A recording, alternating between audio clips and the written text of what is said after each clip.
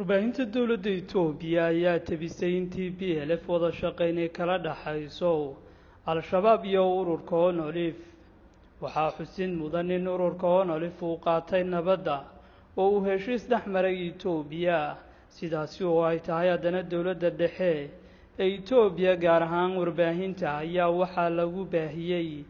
eedayntan culus oo loo soo jeediyey oo ururka onolif inay xidhiir la leeyihiin t b l f sidoo kale shalay waxa ay dowladda federaalka etoobiya soo bandhigtay sawirada dad ay ku sheegtay inay yihiin maxaabiis tiro badan oo laga qaqabtay kooxda t b l f ee dagaalku kala dhexeeya dowladda federaalka etoobiya oo horaantii muddo hadda laga joogo ku dhowaad laba sano uu socdo dagaalkani ayaa waxaan laga gaadhin wax wada hadala iyo sidoo kale oo wadaxaajood laba geesood ah. Walow uu sanadkani gudihiisa joogsaday dagaalkani haddana bilihii la soo dhaafay ayuu mar kale dib u qarxay. Waxaan ahay mustafa deeq wararka laanta afka soomaaliga e c b a